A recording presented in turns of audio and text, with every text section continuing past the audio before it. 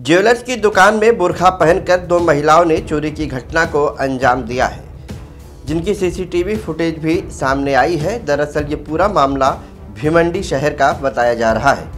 आरोप लग रहा है इन महिलाओं पर कि ज्वेलर्स की दुकान में ये दो महिलाएँ गहने खरीदने के लिए सरगम ज्वेलर्स की दुकान में गई थी और गहने देखने की आड़ में सोने के दो कंगन ये महिलाएँ चोरी कर ली। जिसकी शिकायत भी भिवंडी के निजामपुरा पुलिस स्टेशन में दर्ज कराई गई है।